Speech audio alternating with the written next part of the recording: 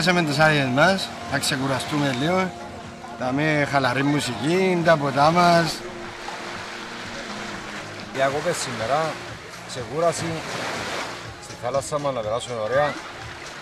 Λέξατε να μείνετε εντός Κύπρου ή θα φύγετε και Όχι, εντός Κύπρου θα μείνουμε. Οι καταστάσεις είμαστε λίγο περιορισμένοι.